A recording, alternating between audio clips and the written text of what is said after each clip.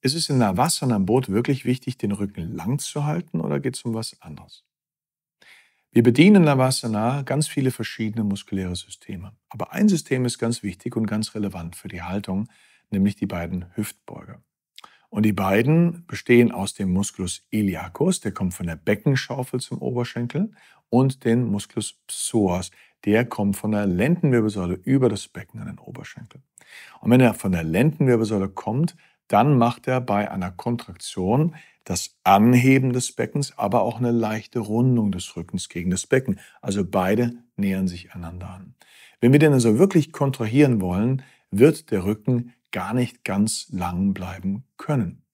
Also ihn etwas rund zu machen, ist eigentlich für die maximale Kontraktion des Hüftbeugers eine ganz wichtige Sache. Und ein zweiter Punkt kommt dazu.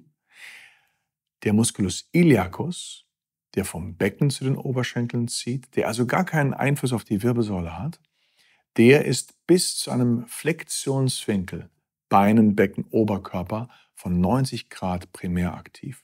Das heißt, den oberen Teil des Hüftbeugers, den, um den es für die Haltung wirklich geht, den kriegen wir erst ab 90 Grad. Wie muss also Navasana aussehen?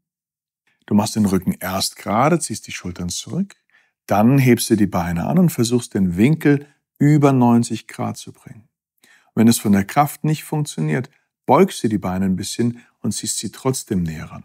Und du siehst auch, mein Rücken wird leicht rund, weil nämlich genau der Psoas jetzt ab diesem Winkel erst wirklich arbeitet. Zusammengefasst lässt sich also sagen, die Beine lieber näher ran und immer nur so weit strecken, wie es halt geht, statt sie tiefer und gestreckt zu halten. Und der Rücken darf, muss sogar ein klein bisschen rund sein.